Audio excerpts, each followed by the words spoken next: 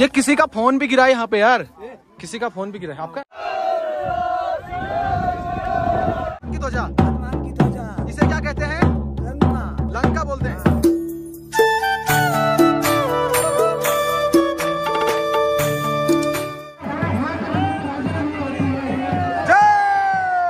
पेड़ को लेके गए ना, पूरा रास्ता यहाँ पर दस गया है, देख सकते हैं। जय श्री राम! सीधे पहाड़ से, सीधे पहाड़ से। गुड मॉर्निंग दोस्तों। तो एक नई ब्लॉग की शुरुआत करते हैं और पहले ही बताना चाहूँगा, जो लोग कमज़ोर दिल के हैं तो ये ब्लॉग ना ही देखें, क्योंकि भैया खतरनाक सीन इसमें होने वाला है। खतरनाक सीन का मतलब ये है, क्योंकि आज है भैया लंका मेला और हनुमान मेला।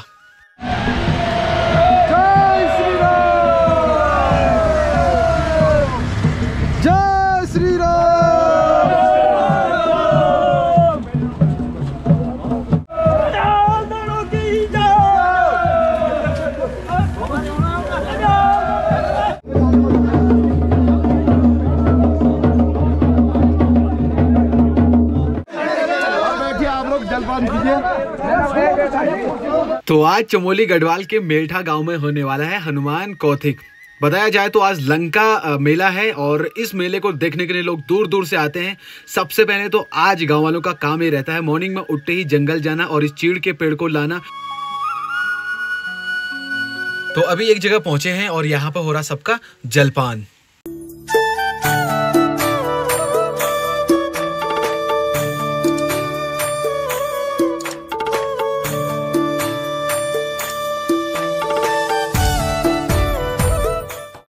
पूरा गाँव मिलके इतना बड़ा पेड़ लेके आ रहे जंगल से देख सकते हैं। आगे से पिकअप चल रही है पीछे पीछे लोग चल रहे हैं और पेड़ देख सकते हैं कितना बड़ा भाई, ये देख सकते हैं। आगे खतरनाक बैंड लग गया है तो यहाँ पे लोगों को परेशानी हो रही है।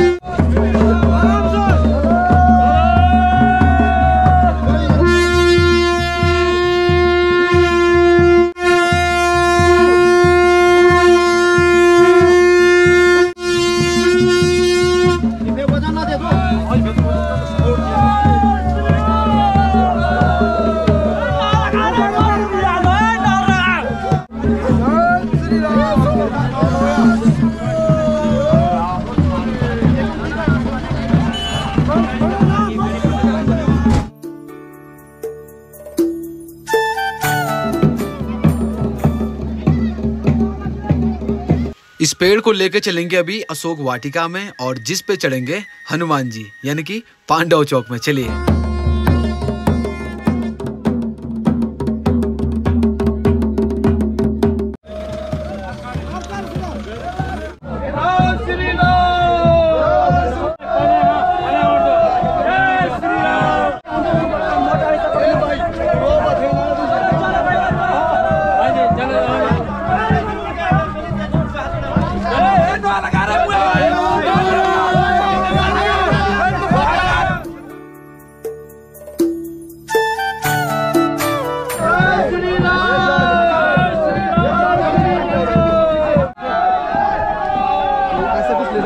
दादी जी घास से आ रहे हैं। जल्दी जाओ लंका आ रही।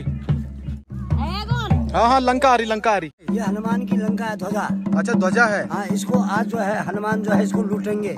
अच्छा। हाँ हनुमंत का मेला है आज। हनुमंत का मेला है। हाँ। इसको लंका मेला कहते हैं? लंका मेला हाँ। अच्छा अच्छा तो ये पेड़ कितनी दूर से ला रहे हैं ये वहाँ से आ रहा है ये मेल ढालू से। मेल ढालू से आ रहा है। तो भाई ऊपर से लंका ला रहे हैं और मेरे साथ में ब्रिजेश भाई, देख सकते हैं। तो इतनी फ़सल में चल रहे हम साइड साइड से। भाई, पैरों से दबाते हुए मत चलना भाई। वैसे रास्ता जो प्रॉपर है ना, वो साइड से है, लेकिन यार पहाड़ों में जो रास्ते होते हैं ना, वो टेढ़े मेढ़े होते हैं। जिसके लिए भाई इतना बड़ा पेड़, जो चीड़ का पेड़ है ना, ले जाने में भैया, आसानी नहीं होती है। इसीलिए भैया हम सीढ़ीदार खेतों से ला रहे हैं। तो भाई, मेल्ठा गाँव के लोगों को मानना पड़ेगा। इसका जो वेट होगा ना, लगभग कुंटलों के हिसाब से होगा। लेकिन इतने ही मेहनती और इतने ही ताकतवर यहाँ के लोग हैं और देख सकते हैं भाई, आसानी से ला रहे हैं। जय श्री राम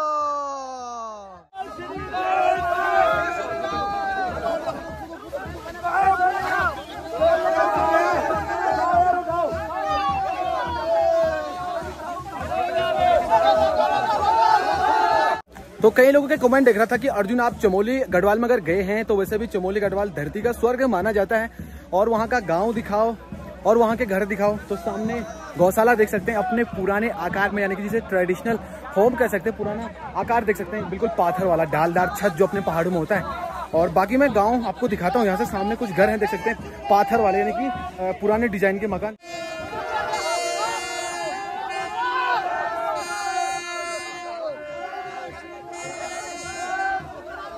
अब यार ऐसे जगह, ऐसी सिचुएशन में मोड़ने में दिक्कत होती है तो सीढ़ीदार खेतों से ला रहे हैं। और जो भाई साहब आगे से है ना, उनको सबसे ज़्यादा दिक्कत होती है ऐसे में। क्योंकि यार कभी इसका गति बढ़ जाता है डाउन में तो यार कैसे कंट्रोल करते हैं? देख सकते हैं जो आगे हैं, वो भाई साहब कितने थके हुए हैं।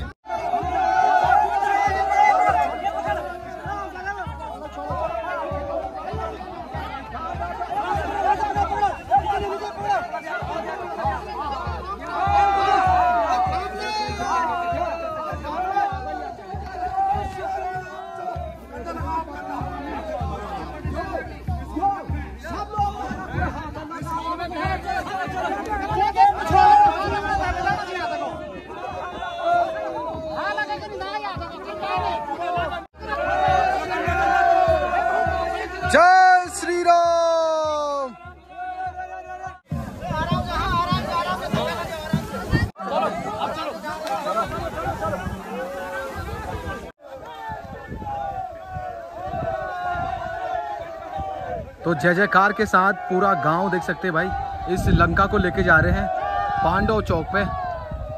तो अभी मैं पीछे से हूँ और जिस रास्ते से उस लंका को लेके गए, उस पेड़ को लेके गए ना, पूरा रास्ता यहाँ पर दस गया है। देख सकते हैं कितना वेट होगा उस लंका का। तो गाँव में पहुँच गए हैं और ये गाँव का प्रॉपर रास्ता है। लेकिन इसे साइड से लाते हैं क्योंकि यार अपने पहाड़ों में क्या है ना, रास्ते क्या होते हैं, टेढ़े मेढ़े होते हैं। और खेतों से लाना होता है क्योंकि खेत क्या होते हैं सीधे सीढ़ीदार खेत होते हैं। बट गाइस लोग बड़े सीधे होते हैं हमारे पहाड़ के बस बस रास्ते टेढ़े बस मेढ़े, बस बस रास्ते टेढ़े मेढ़े होते हैं और लोग बड़े सीधे साधे होते हैं। तो सामने देख सकते हैं चौक में पहुँचने ही वाले हैं। और ये चौक है सामने जहाँ पे पांडव नृत्य का आयोजन चल रहा है इस टाइम पे। और अब पहुँचने ही वाले हैं और दर्शक देख सकते हैं मेलार्थियों को देख सकते हैं। इस क्षेत्र के तमाम दूर दूर से लोग यहाँ पे आए हैं।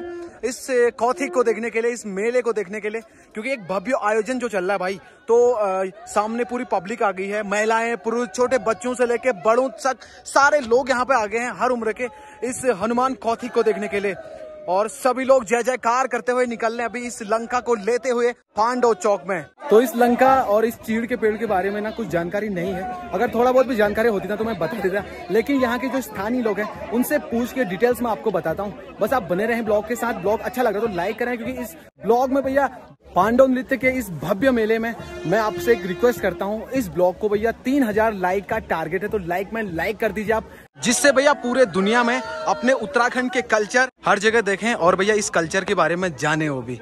कि अ, ऐसे नहीं कहते अपने उत्तराखंड को द लैंड ऑफ़ गॉड देवभूमि उत्तराखंड. और यहाँ पर भी मैं एक चीज़ देख रहा हूँ। आगे आगे जो लगे हैं बंदे वो अपने नौजवान बंदे हैं और पीछे से हैं दादा लोगों के एज के यानी कि दादा पापा इन लोगों उनकी एज के यहाँ पीछे हैं और बीच में कोई दादाजी भाई साहब दादाजी अकेले लगे हैं। नब्बे साल के हैं। दादाजी देख सकते हैं इस उम्र में भाई नब्बे साल की इनकी उम्र है और इस उम्र में अकेले लगे हैं अकेले।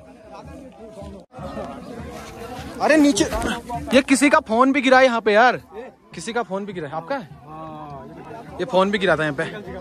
अंकल जी का। अर्जुन भाई की तेज अर्जुन की आँखें हैं भाई वो। वो देख लेता है।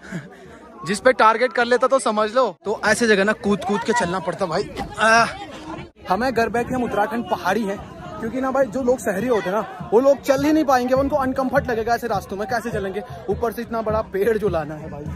और ब्लॉगिंग करना भी भाई, ऐसे रास्तों में ना कई लोग नहीं कर पाएँगे जो प्लेन से इसके लिए तो भैया ठेठ पहाड़ी बंदा चाहिए, जो हर जगह हर सिचुएशन में कूद के पार्टिसिपेट करके ये ब्लॉग कवर करे। तो ये है चौक, जहाँ पे चल रहा है पांडव नृत्य। और यहाँ पे ढोल नगाड़े की आवाज़ चारों तरफ़ से भुकर तो चौक है सामने। और लंका लेके लोग अभी यहाँ पे पहुँचे हैं। तो अब तो भाई पहुँचने ही वाले हैं। और देख सकते हैं, स्वागत के लिए फूल माला ढोल नगाड़ों से उनका स्वागत किया जाएगा, जो जितनी दूर से भाई इतने ऐसे सिचुएशन में इस लंका को, इस पांडव चौक तक पहुँचा रहे हैं।